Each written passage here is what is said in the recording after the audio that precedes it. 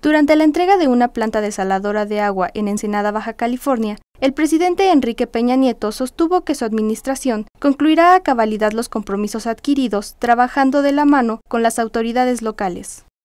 En cada entidad federativa asumí compromisos. En todos los estados del país firmé los compromisos de las obras más apremiantes y que sin duda tienen un impacto eh, regional en cada entidad federativa, como fue el caso muy particular de esta desalinizadora que hoy estamos aquí entregando.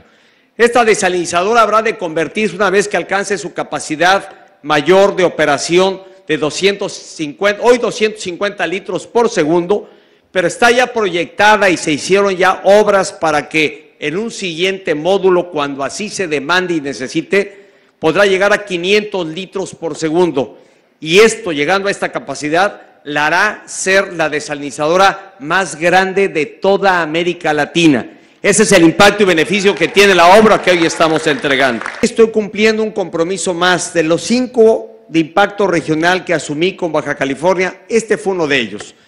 porque garantizar abasto de agua potable para la población que no la tiene y que lo necesita sin duda es o tiene un peso muy importante y relevante y trascendental para la vida de miles de habitantes que viven aquí en Ensenada. Enfatizó que el gobierno de la República se mantendrá absolutamente respetuoso de la libertad de expresión, de los postulados y las afirmaciones de los candidatos presidenciales, pues es la sociedad mexicana a la que le corresponde decidir. Es la elección más grande que hayamos tenido en la historia. Sin duda representa un gran reto para todas las autoridades involucradas, a quienes les corresponde eh, ordenar el procedimiento,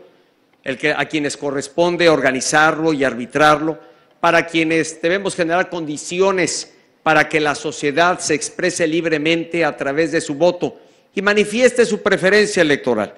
Y el gobierno de la República y más su presidente, el presidente de la República, como además lo tienen así consignado, todos los servidores públicos de la Administración Público Federal deberán conducirse con estricto apego a la legalidad, siendo respetuosos de la libertad de expresión,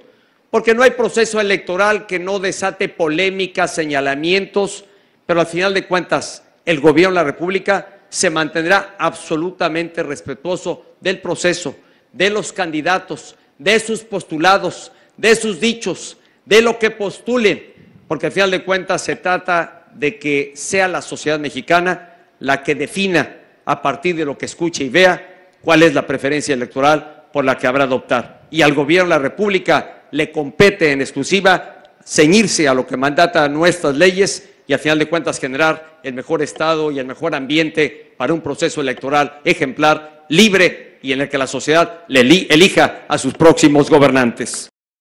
Notimex.